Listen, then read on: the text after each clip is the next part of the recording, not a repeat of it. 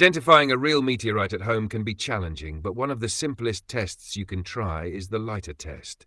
While this method alone cannot confirm authenticity with 100% accuracy, it can help you observe important physical reactions that many real meteorites show. Below is a clear, detailed guide on how to perform this test safely and what results to look for.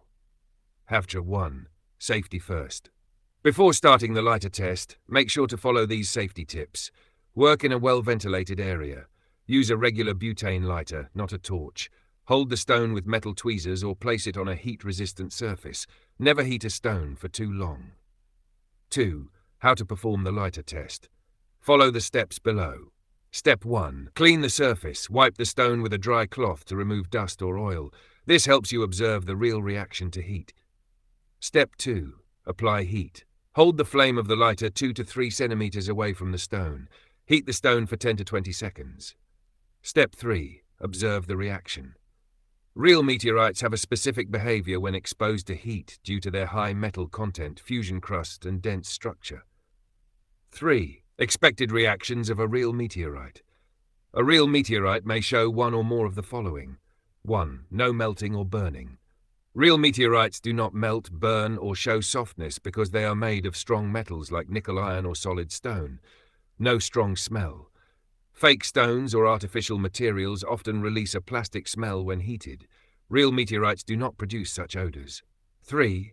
Slow heat absorption meteorites heat up slowly because of their dense metallic composition. They also cool down quickly when the flame is removed. HAV4. Fusion crust remains unchanged. If your stone has a black fusion crust, heating it lightly will not make the crust peel or bubble. NAM4. Signs of a fake stone. If the stone shows any of the following, it is likely not a meteorite. Melting or softening. Materials like slag, plastic, or glass will deform under the flame strong chemical or plastic smell. This means the stone is man-made, surface bubbling or cracking. Meteorites do not bubble when heated lightly. Color change from black to brown or reddish. Some earthly rocks with coatings may burn and change color. 5. Important notes. The lighter test is not a confirmation test. It only helps in the first evaluation. Always combine it with other tests, magnet test, streak test, density test, visual inspection for regmaglypts. If the stone shows promising results, consider taking it to a geologist or university laboratory for confirmation.